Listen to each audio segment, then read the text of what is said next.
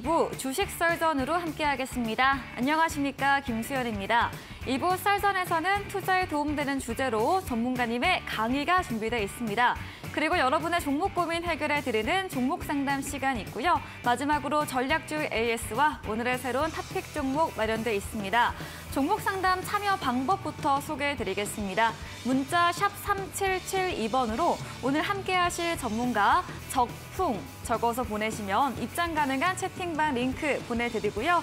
포털 검색창에 슈팅스타 검색하시고 사이트에 들어오셔도 종목 상담 코너가 준비되어 있습니다. 종목의 이름, 매수하신 가격, 비중 올려주시면 방송 시간 통해서 고민들 시원하게 해결해 드리고요. 종목 상담 책태도의 경우에는 커피 쿠폰도 함께 보내드립니다. 여러분의 많은 참여 기다리고 있겠습니다. 네, 그럼 오늘 주식 썰전 함께할 전문가를 소개합니다.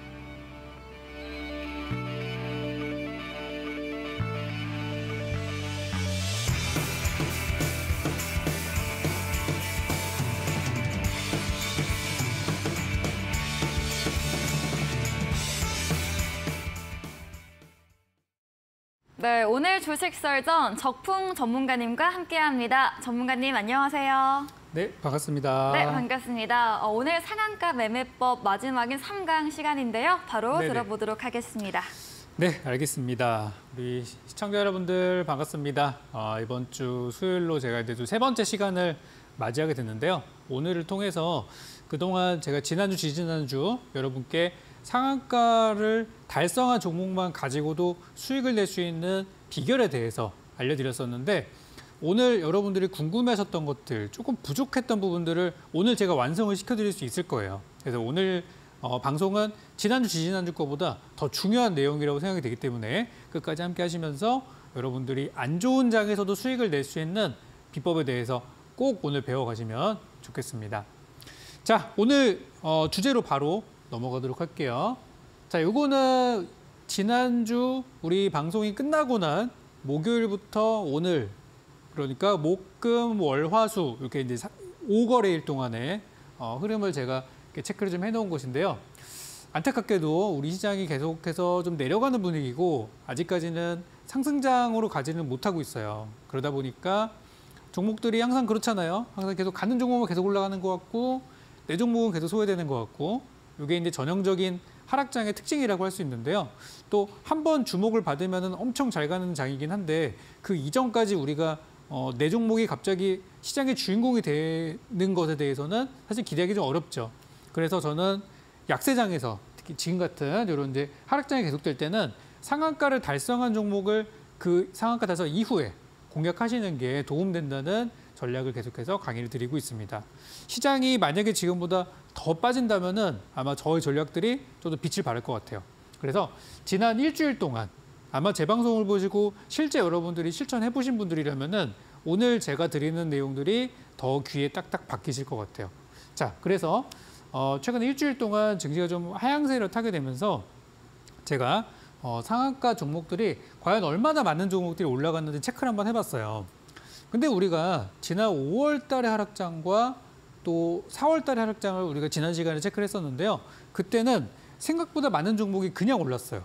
그냥 상한가 종목을 사도 다음날 바로 수익이 나는 승률이 한 70에서 80% 정도 나오는 그런 장이었는데 지난주와 이번 주는 약간은 분위기가 좀 달라요. 보시면은 어, 상한가를 달성한 종목이 다음날 추가 상승하는 비율이 예전보다 좀 줄어들었어요. 그죠? 거의 반타작입니다. 그럼 이런 장에서는 어떻게 우리가 시장을 봐야 될까? 대응해야 될까? 궁금하실 텐데요. 오늘 그 답을 좀 드릴 겁니다. 어, 첫 번째로 상한가 종목들이 다음날 추가 상승하는 비율이 낮아졌다는 거는 한 가지 이거는 좀 좋은 소식일 수가 있어요. 그게 뭐냐면 시장이 계속 내려가다가 이제 약간 돌릴 때가 됐다는 거예요. 그러니까 꼭 투자자들이 전일에 급등했던 종목을 다시 사지 않고 다른 종목들을 봐도 계속 새로운 좋은 종목들이 막 나와요. 어, 여기서도 나오고 저기서 나오네. 그래서 지금 우리 지수가 좀 떨어지고 있습니다만 상한가 종목 다음 날에 연속 상승률이 떨어진다는 거는 지금이 우리 시장이 내려가고 있으나 바닥에 머지 않았다라고 해석할 수도 있어요. 그래서 그건 한 가지 제가 이제 좋은 부분이라고 말씀을 드리는데 혹시라도 여기서 시장이 더 내려가게 된다면은 요 퍼센테이지, 요, 요 수치는 급격하게 또 올라가게 될 거예요. 그래서 저는 시장이 빨리 반등이 나와서 제가 이런 얘기 안 하고도 그냥 종목들이 올라가는 장이 빨리 나왔으면 좋겠어요. 흔히 말하는 대세 상승장, 올해 1월 달 같은 장 있죠? 그런 장이 오기를 바라고 있습니다만 또 안 좋은 장에서도 우리는 대해야 되니까. 자, 그래서 이제 오늘 제가 하고 싶은 이야기들은 어, 생각보다 종목들이 많이 안 올랐어요. 그죠? 이거는 제가 어, 그 해당 일에 상한가를 달성한 종목이 다음 날 추가 상승을 했는지 여부를 제가 체크를 해본 거예요. 그러니까 여기 22일 같은 경우는 그 전날 상한가 종목을 아무 생각 없이 아침에 시가에 샀을 경우 다섯 종목 중에 네 종목이 올랐어요. 올라갔다의 기준은 뭐 1% 올라간 게 아니라 적어도 수수료 세금을 띄고 어, 3% 이상 올라간 종목만 제가 체크를 했습니다. 그러고 보니까 어, 지난주 목요일 같은 경우는 전일 상한가 종목이 그래도 다섯 개 중에 네 개는 올랐어요. 그냥 샀어도 여러분들은 돈을 벗었을 거란 말이죠. 그리고 그 다음 날 금요일 같은 경우는 그 전날의 종목을 사셨을 경우 여러분들은 손해를 본 확률이- 컸다는 거예요. 왜냐하면 그 전날 상한가가 일곱 개였었는데 다음 날 종목이 두 개밖에 안 올랐거든요. 실패죠. 그리고 그 다음 월요일 날을 보니까 상한가 종목이 세 개였었는데 그 다음 날 추가 상승 3% 이상 올라갈 확률이 빵 퍼센트입니다. 그러니까 세개 중에 하나도 안 올랐다는 거예요. 실패한 날도 있어요. 그리고 그 다음 날 화요일 날의 경우는 반타작 그리고 수요일 날 종목들 요건 이제 우리 전일 상한가 종목이 오늘까지 마저 올라간 확률을 보니까 오늘도 다 올랐어요. 시장이 막 오르락 내리락 하죠. 그래서 어, 실제 여러분들이 매매하셨던 분들이 계시다면 오늘 저의 전략이 도움이 될 것 같고 한번 제가 한 종목 한 종목씩 한번 살펴볼 거예요. 제가 1강과 2강을 통해서 여러분께 제시해드렸던 거 한번 살짝만 remind를 한번 해보면은 제가 안 좋다고 한 상한가와 좋다고 했던 상한가가 분명히 있을 거예요. 그 중에 좋다고 했던 거는 뭐냐면은 바닥에서 처음 올라오는 거 이거 좋다 그랬고요. 두 번째는 신고가를 달성하는 거 이거 좋다 그랬어요. 그리고 나쁜 거는 어, 연속 상한가 한 두 번 세 번 올랐는데 그 다음에 또 나오는 상승세는 좀 조심해야 된다. 연속 상한가는 조심해야 된다는 말씀드렸고요. 그리고 어, 나머지 내용은 직접 보면서 종목을 보면서 설명드리도록 할게요. 아 그리고 다음 날 우리가 매수 타점으로 볼 때는 일단 급등이 있으면 다음 날 상승 출발하는 종목이 좋다. 대신 10% 이상 올라간 종목들은 조심해야 된다. 이것도 제가 드렸던 기억이 납니다. 그리고 빠져서 시작하는 종목들은 아예 보지 않는다까지도 설명을 드렸었어요. 핵심만 전달드리자면 이 정도인데요. 자 그렇다면 전날 상한가를 갔지만 다음날 하락하는 종목은 아예 시작할 때부터 우리 매수 종목이 아니기 때문에 그거를 배제하고 저는 상승 출발한 종목만 한번 제가 하나씩 하나씩 뜯어보면서 여러분께 실전 전략을 드리도록 하겠습니다. 자, 요거는 이제 동호 나나텍이라는 종목인데 아, 우리 우리가 그 수요일 날 제가 여러분께 지난주에 방송 출연하면서 이 상한가 강의를 말씀드리고 그리고 바로 추천했던 종목이에요. 이런 게 좋다. 그리고 다음 날 주가가 이제 올라서 출발했어요. 그런데 어, 한8% 이상 급등을 해서 출발했는데 그럼에도 불구하고 일단 저의 조건에는 맞아 떨어졌어요. 일단 첫 번째 바닥에서 처음 출발하는 상한가, 첫 스타트하는 상한가가 좋다 그랬죠? 좋은 조건이죠. 그리고 두 번째 상승 출발할 때 플러스, 네 빠져서 출발한 게 아니라 일단 올라서 출발했어요. 좋은 조건이죠. 그리고 세 번째 10% 이상 올라간 종목이 아니에요. 역시 좋은 조건이란 말이에요. 그래서 이 좋은 조건이 삼박자가 맞아떨어지는 종목이 돼서 물론 저는 이제 하루 전에 그걸 예측하고 여러분께 추천을 드린 종목입니다만은 다음 날 아침에 굉장히 좋은 환경이 돼서 아침에 바로 여러분들께서 공략을 하셨을 경우 당일 기준으로 당일 기준으로 5% 이상의 수익이 발생을 했을 것이고 그리고 저희 이제 노란 톡방에서도 여러분께 익절 사인을 드렸었어요. 그런데 어 저 못 팔았는데요 하시는 분이 계셨거든요. 그래서 어, 괜찮으니까 올라오면은 정리하세요라고 그렇게 다시 한번 전략을 드리기도 했었어요. 그래서 뭐 이거는 뭐 최대 수익률은 그냥 저희 뭐 그냥 자랑이라고 생각하시고 그때 이제 올라갔던 우리의 목표는 여기서 단기 투자를 목표로 들어갔던 거지만 그 이후로 주가가 얼마만큼 올라가는지를 보면은 최종적으로는 100% 이상 시세를 내주고 있었어요. 그러니까 이거는 뭐 꼭 제 종목이 100% 올라갔습니다. 이걸 얘기하고 싶다기보다는 이런 종목이 잘 간다는 거예요.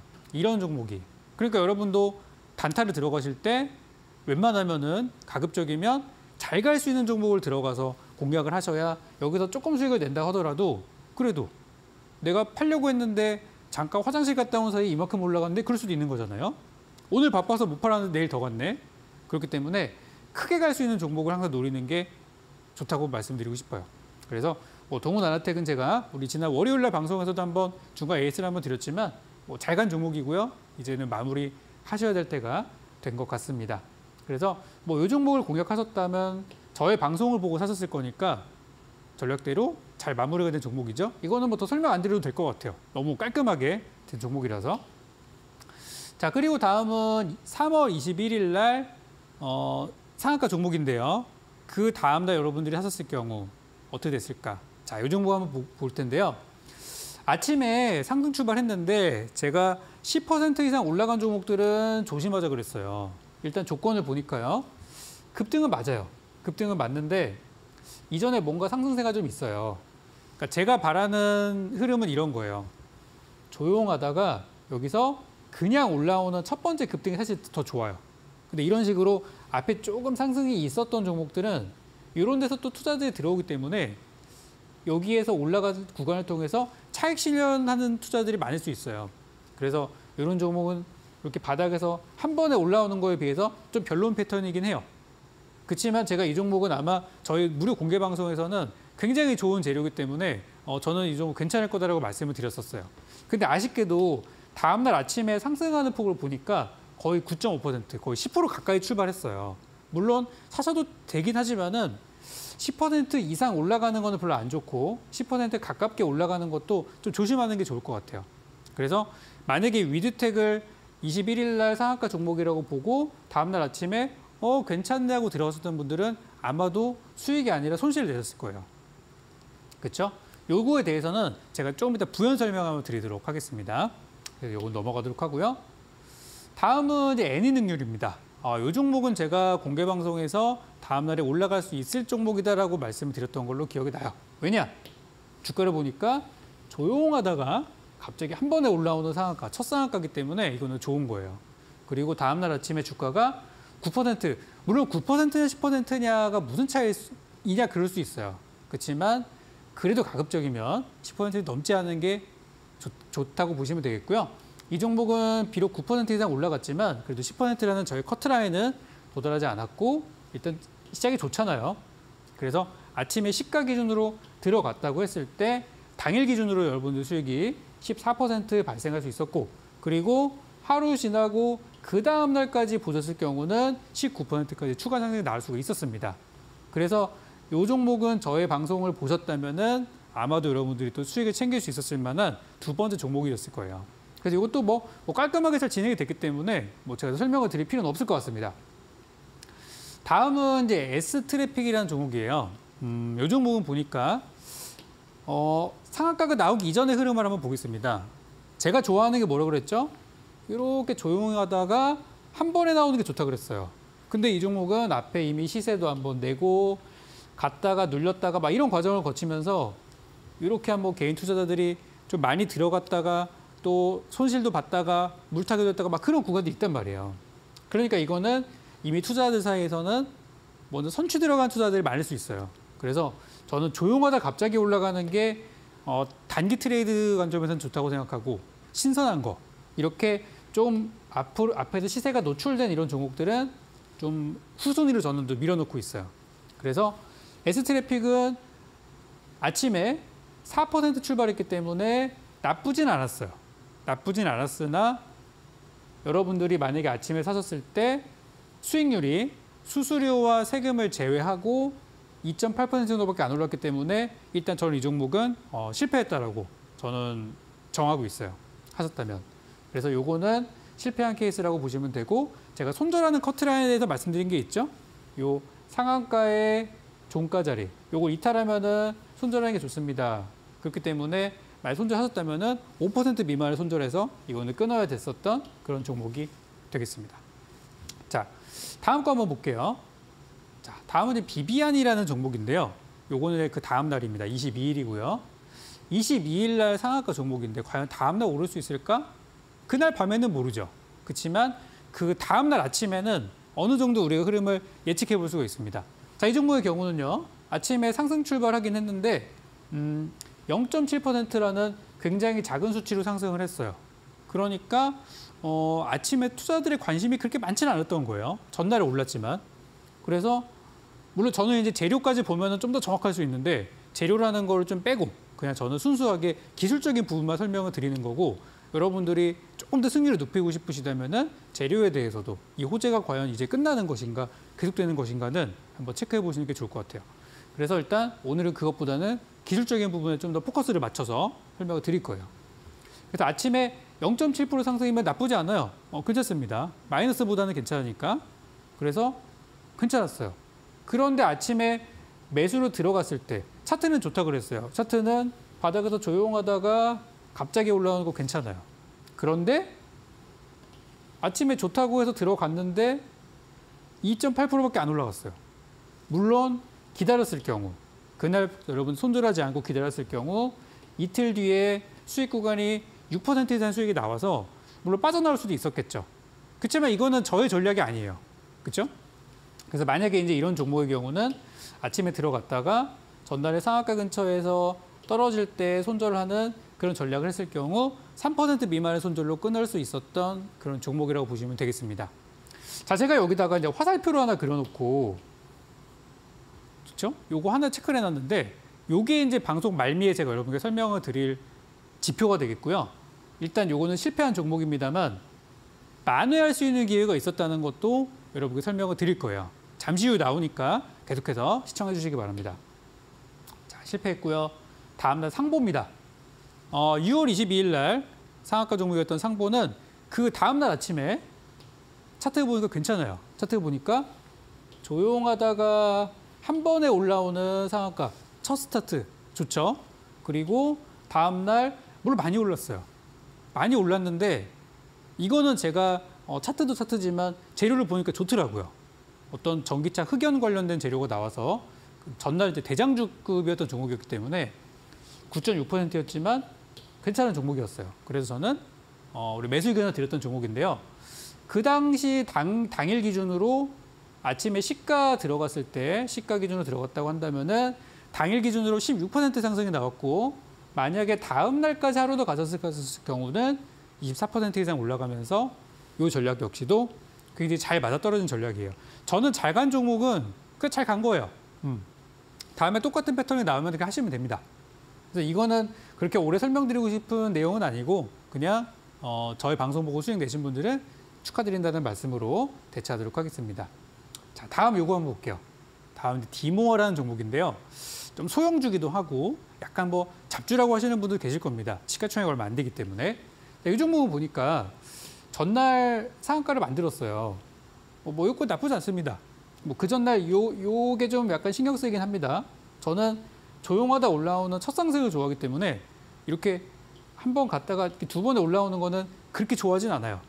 그렇지만 요 아침에 샀을 수도 있어요. 그렇죠?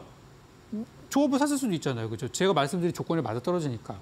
근데 아침에 상승을 몇 퍼센트 됐냐면은 9.98% 시작을 해가지고 거의 10%에 육박한 상태에서 스타트를 했어요. 이런 경우는 좀 고민 한번 해보셔야 돼요. 그래서 이 경우는 만약에 아침에 사셨을 경우는 전혀 올라가지 않았고 아침에 매수 구간이 고점이었기 때문에 요거는 좀 좋은 흐름은 아니었어요. 그렇지만 만약에 여러분들이 이걸 뭐 저 같으면 사진 않을 텐데 만약에 이걸 사셨던 분들이라면은 만회할 수 있는 구간이 분명히 존재했고요. 여기 보시는 이로 선들을 보시면은 요 빨간색 선과 요 회색 선 이런 선들이 제 차트에 그려져 있는데요. 요 구간을 이용하면 여기서 실패했다 하더라도 여러분들은 짧은 손절과 저점을 노리는 공략을 통해서 수익을 낼 수가 있었다는 포인트도 저는 말씀을 드리고 싶어요. 그래서 어, 이따가 뭘 나온 내용입니다만은 여러분들이 들어갔는데 수익 구간이 있었는데 놓치는 경우가 아니라 수익 구간이 전혀 없이 바로 빠지는 경우가 있거든요. 이런 종목들은 손절하더라도 한번 반등 자리를 한번 기다려봤으면 좋겠어요. 그러니까 나중에 제공약의 타이밍이 한번 나온다는 거죠. 뭐 이건 이따가 한번 이어가도록 하고 일단 디모아는 실패한 종목이 되겠습니다. 다음은 남성이라는 종목입니다. 아, 요거는 6월 23일 날 상한가 종목이었고요. 차트를 보니까 어, 나름 괜찮습니다. 조용하다가 올라왔어요. 그래서 다음 날에 3% 이상의 오르긴 했는데 아침에 분봉을 보니까 너무 순식간에 갔다 왔어요. 정말 막 한 10초, 20초 만에 갔다 와가지고 이거는 매매를 못했을 가능성이 커요. 올라갔지만. 그래서 저는 일단 이 종목은 어, 실패한 종목이라고 생각을 하는데 물론 매매하신 분도 계시겠죠. 정말 번개같이 빠르신 분들. 그렇지만 이거는 정상적인 대부분의 투자자분들은 좀 어려우신 부분이라서 이건 실패했다고 생각해요. 그러면 이거를 왜 실패했는지 그리고 앞으로 대응 전략은 어떻게 되는지는 잠시 후에 이어지는 저의 강의 후반부를 들어보시면은 명확하게 이해가 되실 거예요. 자, 다음으로 넘어가 볼게요. 다음은 6월 23일 날 상한가였던 SG입니다. 자, 이 종목도 아니 전날 상한가에 들어갔고, 그죠? 다음 날 아침에 10%나 올라가지 않았어요. 근데 샀으면 여러분들은 수익이 아니라 손실이 났을 거예요. 아, 이거 뭐 어떡하나. 그죠? 근데 앞에 차트를 보니까 제가 좋아하는 패턴이 아니에요. 제가 좋아하는 패턴은 이렇게 있다가 올라가는 걸 좋아하는데 아, 앞에 너무 지저분합니다. 갔다 빠졌다 갔다 빠졌다 이러면서 여기서 이제 많은 개인 투자들이 힘들어하고 들고 있다 보니까 이 급등이 나오면서 아이고 나 이제 팔아야겠다. 이 종목이 더 좋을 거라고 생각하면은 2천 원, 3천 원 가져가겠지만 너무 고생을 많이 한 거예요. 그래서 제가 앞에 조용하다 가는 게 좋다 그랬고 이렇게 앞에 앞서서 시세가 좀 낮다 빠졌다는 종목들은 별로 안 좋다 그랬어요. 왜냐 여러분들이 여기서 어, 샀다고 한번 해볼게요. 그러면 여기서 만약 여러분이 사셨어요. 살 수도 있잖아요, 그죠? 하다 보면은 어, 내 머리는 아닌데 머리는 사면 안 된다고 그렇게 지시를 내리고 있는데 내 손이 먼저 가서 사는 경우가 있어요. 그 그럴 수 있잖아요. 그렇죠? 샀다고 한번 해볼게요. 근데 사자마자 갑자기 폭락을 해가지고 내가 어떻게 하지도 못하는 상태에서 마이너스 10%가 됐어요. 그러면 팔기 되게 걱정되잖아요. 그죠? 그러면은 올라오면 팔아야지. 그 마음밖에 안 생겨요. 이게 뭐 회사가 어떻고 이거는 그 다음부터 생각이 안 나고 아, 내 실수했구나. 아, 내 다음부터는 매매 잘해야지.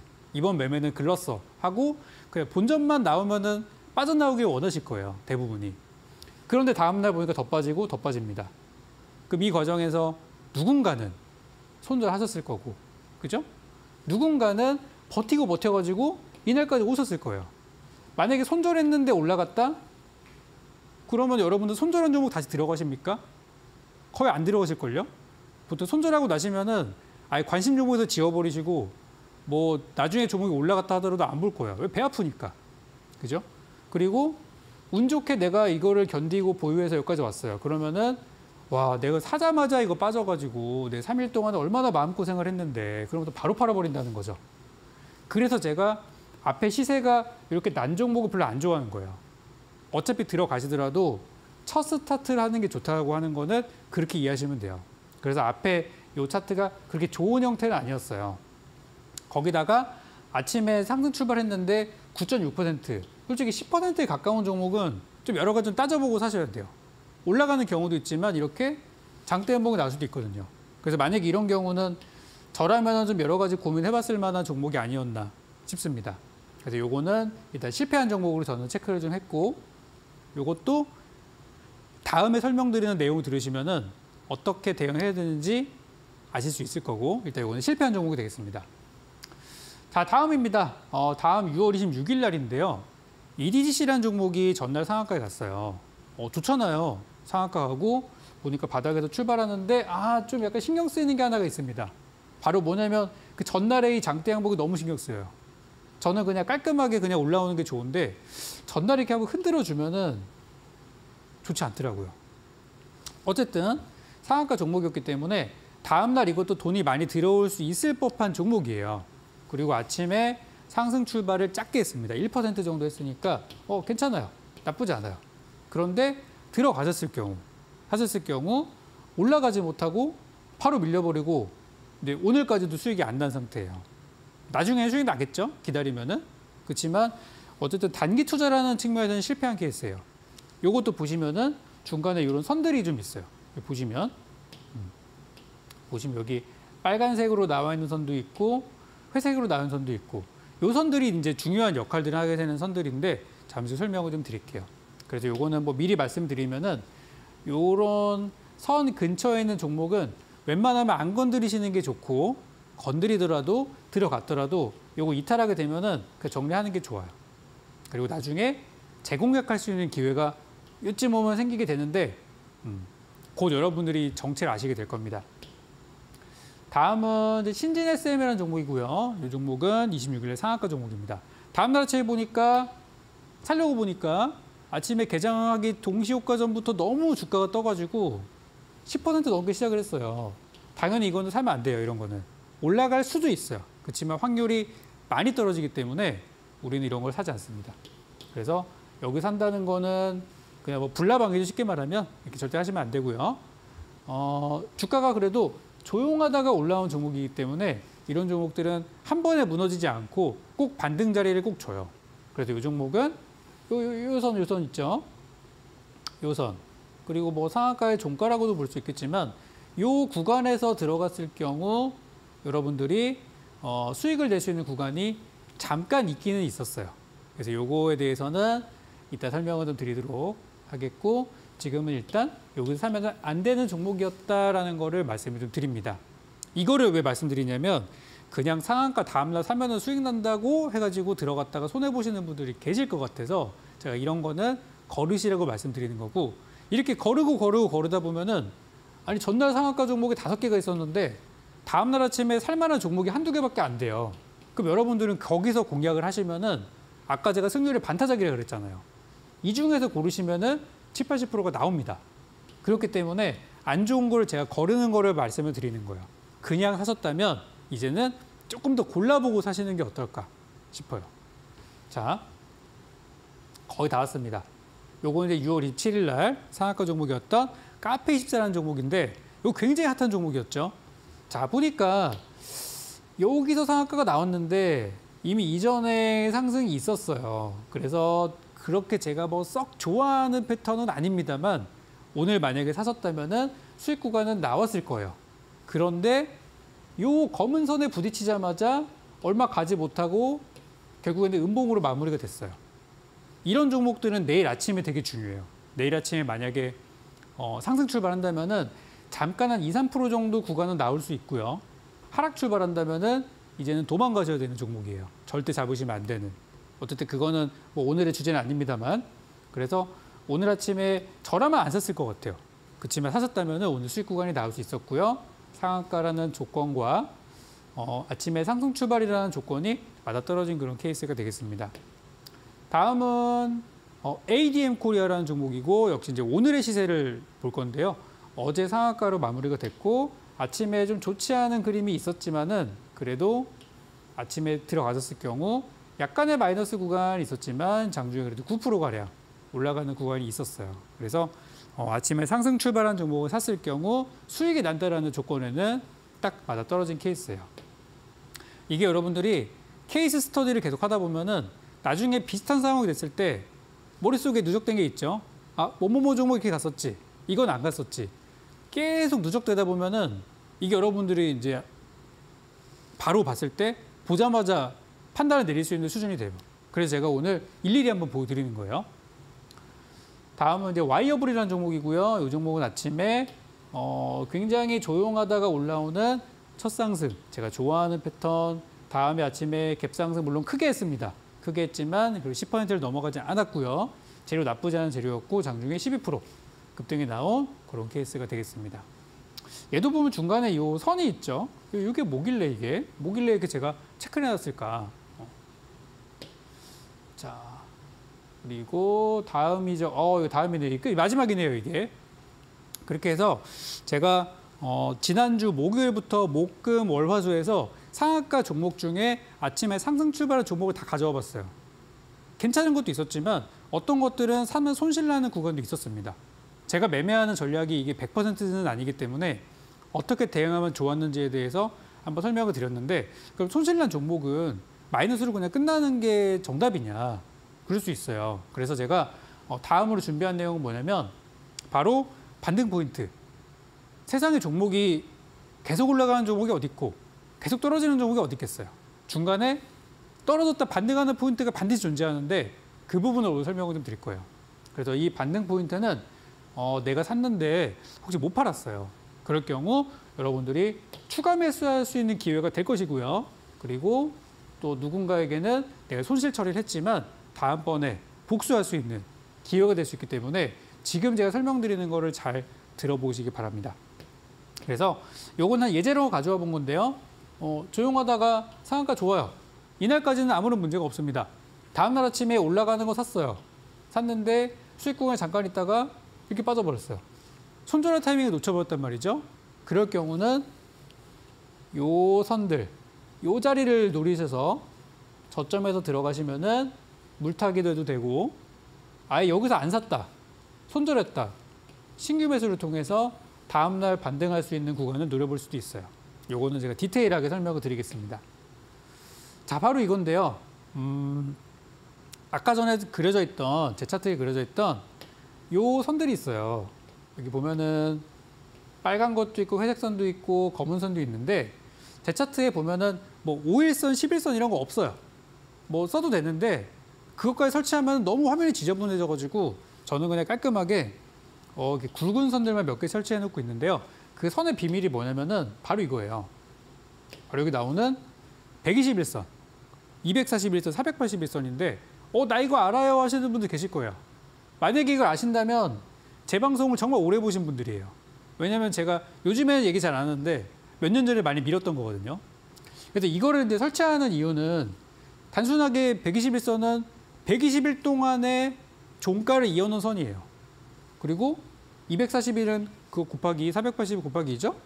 그래서 121선은 6개월의 추세, 241선은 요 1년짜리, 481선은 2년짜리 이렇게 추세선이라고 보통 얘기를 하는데 뭐 그것까지 아실 필요는 없습니다.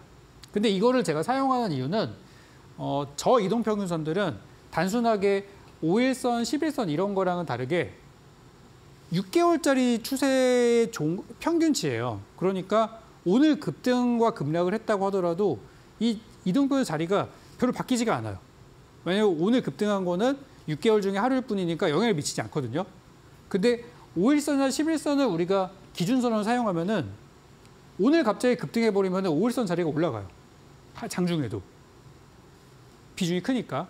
그래서 저는 저런 장기 추세선들을 기준선으로 보고 대응을 하자고 하는 거고 저거를 기준 삼아서 매매하는 사람들이 너무 많다 보니까 저 선들이 특별한 어떤 역할을 하는 것은 아닌데 저 자리가 되면은 을에 물량이 나오고 저 자리까지 빠지면은 반등하는 경우들이 굉장히 많다는 거예요.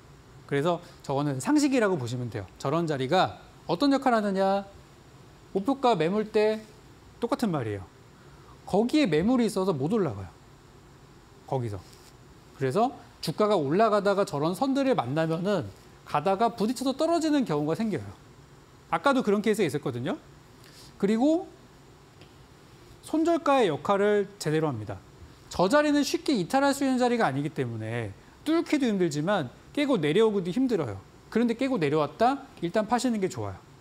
그래도 1, 2% 정도는 버텨보시는 게 괜찮겠고요. 장중에 잠깐 빠지는 건 있을 수 있으니까. 마지막으로 저 자리가 지지선, 반등 자리의 역할을 하는 경우들이 많은데 오늘 제가 주목하는 거는 이 기능이에요. 이 자리. 그래서 실전 예제로 들어가 설명을 드리면 은 자, 요거는 위드텍인데 아까 제가 실패한 종목으로 체크한 종목입니다. 그죠? 아침에 들어갔는데 어, 손절했어요. 끝. 이게 아니에요. 여러분들께 복수할 수 있는 기회가 남아 있습니다. 자, 물론 아침에 많이 올라간 종목이라서 안 사는 게 사실 정답이에요, 이런 것들은. 그렇지만 나도 모르게 내 손이 샀다. 그럴 경우는 떨어지면 정리하시는 게 좋겠죠. 그러거나 아니면 나는 팔기 좀 그러니까 조금 이제 바닷가 내려왔을 때 더 사야겠다 할 수도 있는데 그럴 경우는 어디를 노리셔야 되냐면은 바로 이 자리예요. 요거는 아까 제가 말씀드린 121선, 241선, 481선을 설정하셨을 경우 요거 이제 481선이에요. 너무 멀리 있는 선을 보실 필요는 없습니다. 가까이 있는 것만 보시면 돼요. 그래서 이 종목은 떨어졌어요. 뭐 바로 다음날 그냥 장대 음봉이 한 20%짜리 장대 음봉이 나왔는데 다음날 또 빠졌죠. 그런데 요 검은 선 근처에서 여러분들이 사셨다면은 다음날 자리 잡고 그 다음날 해가지고 11% 정도 반등이 나왔어요. 그러니까 여기서 들어갔어요. 물론 들어가면 안 좋지만 들어왔을 경우는 정리하고 반등을 통해서 여러분들이 복수할 수 있고 손해를 많이 할 수 있는 기회가 있었다는 거예요. 자, 그리고 요거 비비안이라는 종목인데요. 똑같아요. 요것도 시작은 좋았습니다. 제가 좋아하는 거라 그랬죠? 다음날 샀어요. 아, 근데 수익 더 날 줄 알았는데 못 팔았어요. 그죠? 현실적으로 못 팔아요, 이런 것들은. 물론 기다렸으면 수익이 났겠지만 이거는 이제 운이 좋았던 거고 그렇다면 이런 걸 좀 현명하게 우리가 좀 알고 대응하자. 그냥 뭐 운 좋아서 수익 난 게 아니라 알고 대응을 하려면은 요 차트 설치를 해놓, 해놓고 보신다면은 여기 이거 위에 있는 거 이거 저항선이에요. 이거는 목표가 매물대기 때문에 이건 지금 중요하지 않습니다. 지금 우리는 떨어지는 거. 요 자리를 보셨다면 여기에서 반등이 나올 가능성이 높다는 거예요. 그래서 떨어졌지만 여기서 튀어가지고 24%의 반등이 나왔어요. 그럼 여기서 들어갔다가 짧게 손절하고 기다렸다가 복수해서 수익 내고 괜찮은 전략이죠? 이렇게 나올 수 있다는 거예요. 그래서 어, 실패 종목이지만 실패했다고 끝나는 게 아니라 여러분이 실패했다는 거는 대부분의 사람은 다 손실 봤다는 거예요. 그럼 여러분은 손실 본 종목 다시 안 본다 그랬죠? 이런 종목들이 더 잘 가요. 그렇기 때문에 여러분들이 만약에 들어가서 손해를 보셨다면 이렇게 만회할 수 있는 자리가 꼭 나온다는 거를 기억하셨으면 좋겠어요. 나 손해 봤으니까 나 이 종목 꼴도 보기 싫어. 지워버리지 마시고 그런 종목의 기회가 있다. 기억하시기 바랍니다. 자 마지막입니다. 이거 디모아라는 종목인데 참 이것도 참 변동성이 장난 아니에요. 막 요동치는 종목인데요. 아까 설명드렸죠? 좋은 종목은 아닙니다. 아침에 너무 크게 올랐기 때문에. 그런데 보시면 요 빨간색 선이 있어요. 요 자리가 제가 깨기도 힘들다 그랬죠. 돌파도 힘들지만 깨기도 힘들어요. 근데 깨졌다? 손절하시는 게 좋아요. 일단. 그리고 아래쪽에 있는 선에다가 저점에서 기다리고 계셨다면은 여기서 내가 만들었던 손실을 뭐 한 3, 4% 나왔을 거예요. 손실을 만회할 수 있는 게 있었어요. 왜냐면 그 다음날 그 다음날 해가지고 28% 올랐거든요. 그죠? 오히려 뭐 손실을 더 복구할 수 있는 기회가 됐겠죠. 이런 식으로 아까 전에 제가 어 전체적으로 지난주하고 이번 주는 상한가 종목이 연달아 올라가는 경우가 굉장히 적었습니다라고 말씀을 드렸었는데 그 중에서 조금 내가 걸러서 사면 안 되는 종목을 좀 빼고요. 그리고 내가 들어갔다 손해본 종목도 이런 식으로 만회하는 전략을 세웠다면 여러분들은 이런 장에서도 70에서 80% 이상의 수익률을 가져갈 수 있는 거예요. 그래서 오늘은 제가 여러분의 손해본 종목이나 실패한 종목에 대한 이런 후속 전략에 대해서도 설명을 좀 드리는 겁니다. 그래서 어, 오늘은 이제 상한가 종목이 한 개밖에 없더라고요. 그래서 오늘 종목이 KG 모빌리언스가 나왔는데 과연 이 종목이 저의 전략에 의하면 내일 어떻게 될까? 궁금하시죠? 제가 지난 시간과 지난 시간에 오셨던 분들께는 오늘 상한가 종목이 내일 더 갈지 못 갈지에 대해서 전략을 세세하게 드렸어요. 오늘도 제가 물론 종목은 하나지만 이 종목이 더 갈지 못 갈지 잠시 후 이어지는 9시 공개 방송에서 풀어드릴 거니까 오늘 방송 쭉 보시고 어느 정도 이해가 되셨다면 그리고 제가 준비한 내용도 궁금하시다면 9시 공개 방송 오셔서 오늘 드렸던 내용들을 좀 마무리하는 시간 가져보셨으면 좋겠고요. 제가 또 준비한 추천주들도 있으니까 잠시 후 여러분들 어, 좀더 디테일한 내용으로 만나보도록 하겠고 저는 이제 다음 코너로 넘어가는 걸로 하겠습니다. 네, 전문가님의 상한가 매매법 오늘로 3강까지 마무리됐습니다. 잘 숙지하셔서 투자에 도움되시기 바랍니다. 강의 진행해주신 적풍 전문가님에게 방송 이후에도 자세한 이야기, 더 소통을 원하신다면 문자 샵 3772번으로 적풍 적어서 보내시면 입장 가능한 채팅방 링크 보내드리겠습니다. 저희가 준비한 이벤트도 있습니다. 마지막 코너 도전 상한가에서 전략주에 대한 힌트를 알려드립니다. 힌트 듣고 정답 아시는 분들 9시 공개 방송 들어오셔서 채팅창에 남겨주시면 커피 쿠폰 보내드리겠습니다. 네, 포트폴리오 AS 시간으로 돌아오겠습니다.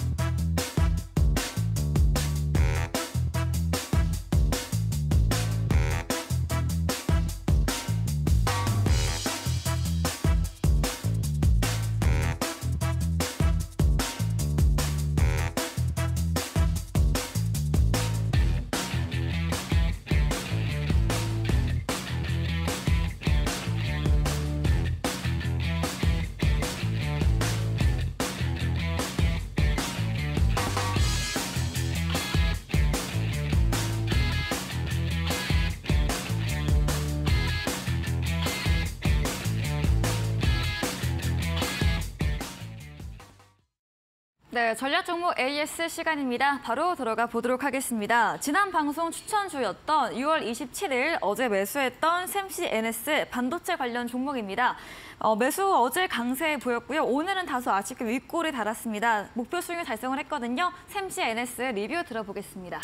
네, 일단 목표가 도달해서 마무리는 드리긴 했는데 저는 목표 요즘 이제 반도체 주들이 워낙 분위기가 네. 좋다 보니까 반도체가 여기서 끝날 분위기는 아니에요. 음. 그래서 아직은 반도체 관련주들이 이 테마 형성이나 돈이 들어온 거에 비해서 아직 나간 부분은 많지 않다고 생각이 들어서 저는 보유하신 분들께는 오늘 일단 단기 목표가 도달로 수익 실현 의견을 드렸습니다만 더 보실 분들께는 어, 6,900원까지 가져가서 좋다라고 좀 2차 목표가 상향을 좀 드렸어요. 그래서 아직 못 파셨다 하시는 분들 괜찮습니다. 7,000원 저는 넘어갈 것 같기도 한데 일단 안전하게 우리 6,900원의 목표가를 어, 가져가도록 할 거고요. 만약에 오늘 저희 노란 톡방에 계셔서 바로 수익 실현하셨다 하시는 분들은 일단 수익 축하드리고 못 파신 분도 아직 괜찮으니까 조금만 더 보유하시면 좋겠다 이렇게 정리 드리겠습니다. 네, 이 반도체 업황 좋기 때문에 보유하셨다면 다음 2차 목표가로 6,900원 선 전략 드렸습니다. 다음 종목은 2월 25일에 매수했던 하나 기술입니다. 2차 전지 관련 주 오늘 장중에 22% 급등세 마감도 14% 넘게 오르면서 거래 끝이 냈고요.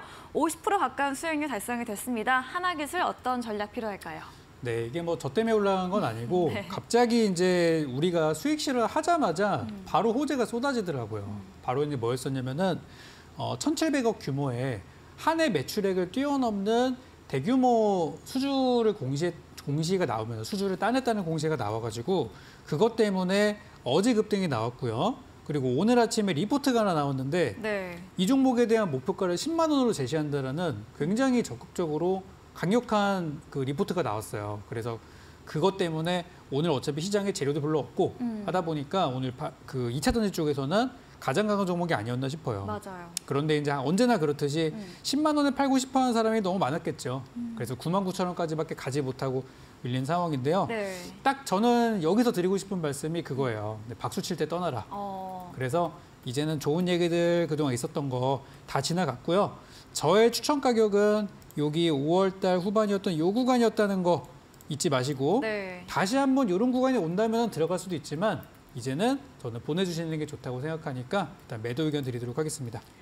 네, 하나기술 박수 칠 때 떠나라. 이제는 정리로 방향 잡아드렸습니다. 이야기해주신 적풍 전문가님에게 방송 이후에도 더 자세한 종목 전략 듣고 싶으시면 문자 샵 3772번으로 적풍 적어서 보내시면 입장 가능한 채팅방 링크 보내드리겠습니다.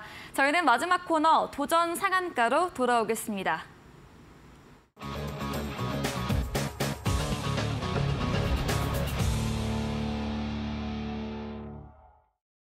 네, 도전 상한가 이번 주 탑픽 종목에 대한 힌트 바로 들어보겠습니다. 자 이제 오늘 종목은 지난주랑 비슷한 느낌으로 가져왔어요. 네. 지난번 동훈하나텍 그리고 그 전주에 도 인텍플러스 수익을 드렸던 것처럼 빠르게 올라가는. 그쵸. 그래도 내일 아침에 네. 여러분들이 공략해볼 만한 종목을 가져왔는데 음. 어, 재료는 이렇습니다. 며칠 전에 여러분들이 뉴스 보셨을 수도 있는데요.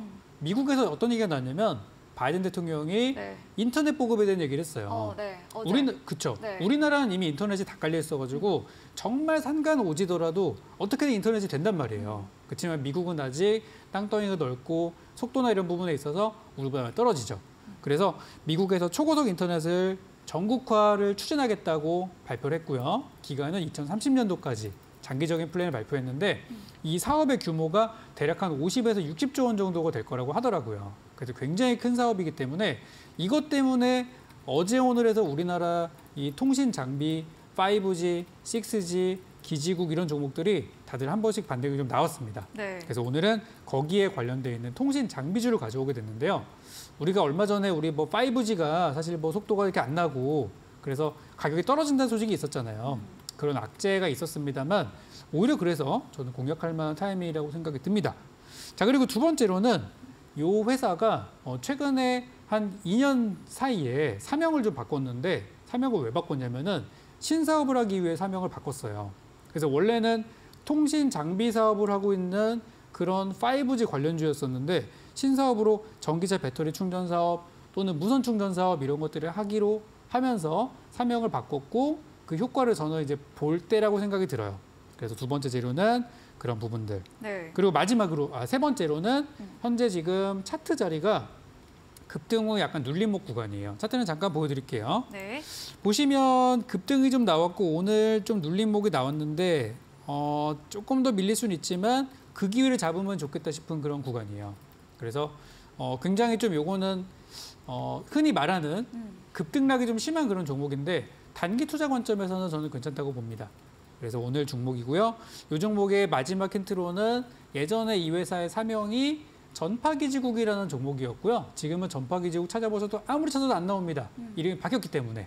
그래서 오늘의 정답은 바뀐 이름을 맞춰주시면 되겠고 혹시 이걸 아신다면 우리도 노란톡방에 오셔가지고 아, 공개 방송에 오셔서 정답을 맞춰주시면 될 것 같아요.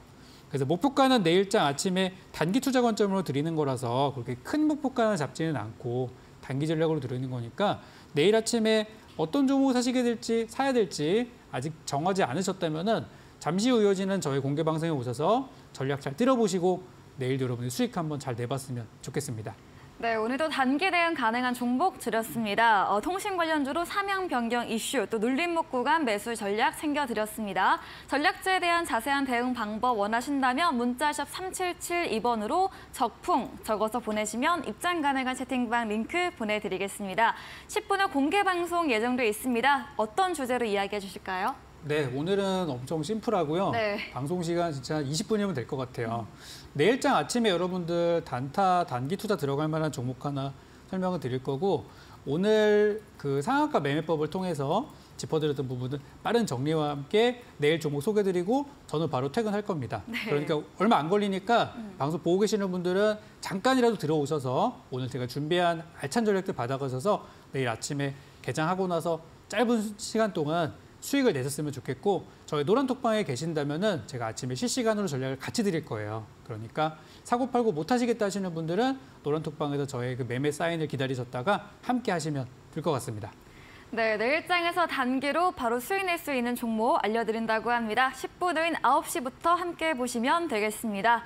네, 오늘 저희가 준비한 내용은 여기까지입니다. 본 방송에서 제공해드린 정보는 투자 판단에 대한 조언일 뿐이라는 점 참고해 주시기 바랍니다.